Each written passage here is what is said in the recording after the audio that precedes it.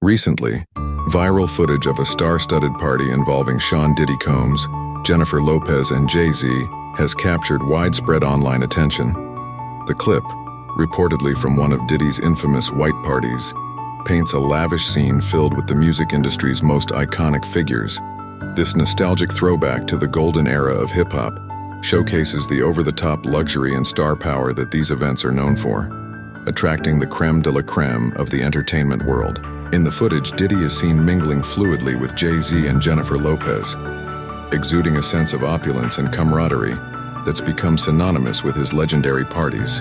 The video features moments of laughter and casual conversation among the trio, sparking widespread discussions on social media. Fans nostalgically recalled their iconic collaborations and the dynamic relationships between them, including the business ties between Jay-Z and Diddy and the high-profile past romance between Lopez and Diddy. The footage also sheds light on the astounding personal and professional growth of these celebrities. Diddy has transformed into a business mogul. Jay-Z evolved into a music and business titan, and Lopez continues to enjoy enduring success as a multi-talented performer. Their informal, celebratory interaction at the party underlines not only their individual successes, but also the deep history they share, making this viral clip a significant moment for fans of hip-hop and pop culture alike.